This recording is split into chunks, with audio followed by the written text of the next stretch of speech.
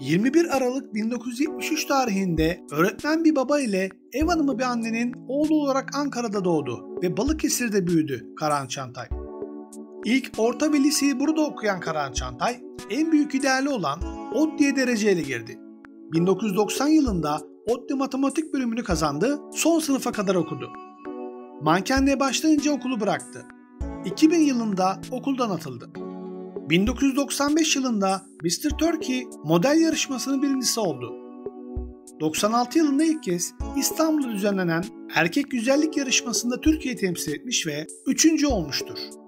Mankenlik, fotomodellik derken dizilerde de oynadı.